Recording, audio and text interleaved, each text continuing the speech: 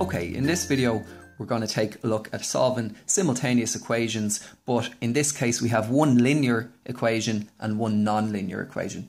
So find the two points where the line 2x minus y equal to 4 intersects the circle x squared plus y squared equals 25.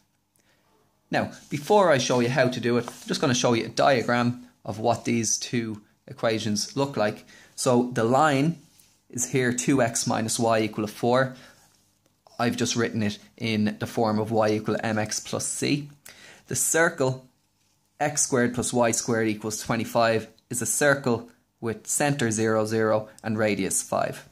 And we're looking for these two points here and here. Okay, so to solve these equations, we must use a substitution. And the substitution that I'm going to use is I'm going to isolate y in this equation here.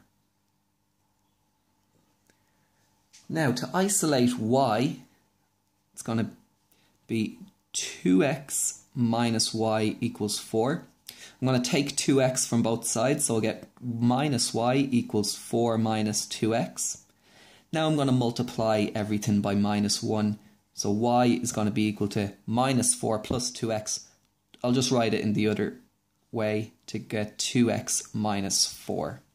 So y is equal to 2x minus 4. I'm going to substitute this into my equation for the circle. Instead of y, I'm going to write 2x minus 4.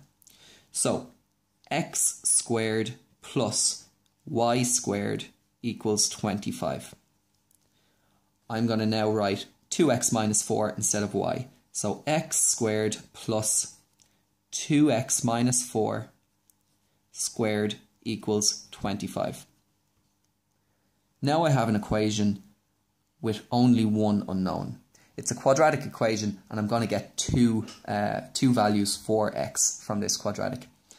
To solve it, I'm going to first multiply out these brackets. So x squared plus, now squaring out a set of brackets uh, the trick for this is the square of the first, so that's 4x squared, twice the product, so that's 2x by minus 4 is minus 8x, twice that is minus 16x, and then the square of the second, the square of minus 4 is plus 16.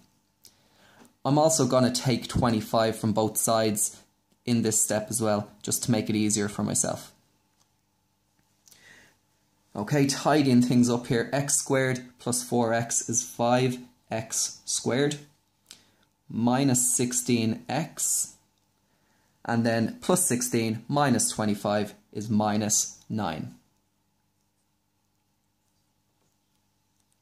Now to solve this equation here, I don't see any uh, factors jumping out at me. So what I'm going to do is I'm going to go straight to the minus b formula or the quadratic formula which is minus b plus and minus the square root of b squared minus 4ac all over 2a.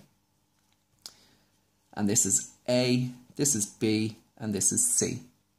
So minus b, so minus minus 16 is plus 16.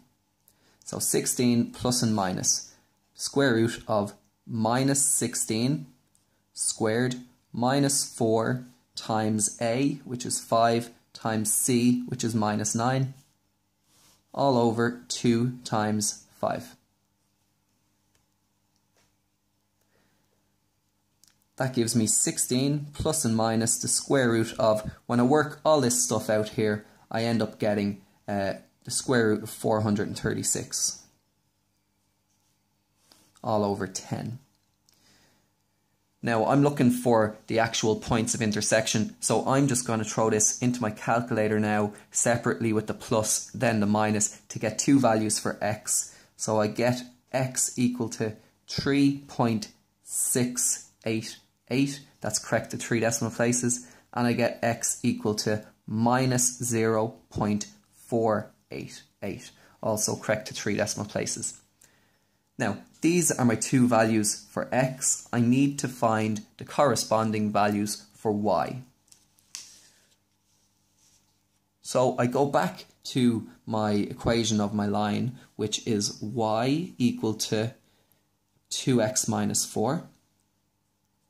And all I'm going to do is I'm going to substitute in each of these individually. So y is equal to 2 times the first one, 3.688 minus 4. That works out to be y equal to 3.376. The other one then, substituting in minus 0.488, I get y equal to 2 times minus 0.488 minus 4. So then y, that works out to be y equal to minus 4.976. So my two points of intersection, if I bring back my diagram here, my two points of intersection are 3.688 comma 3.376 that's that point there and the point down here is minus 0.488 comma minus 4.976 Okay, so thanks for watching. If you have any questions, please ask in the comments below, and I'll see you next time.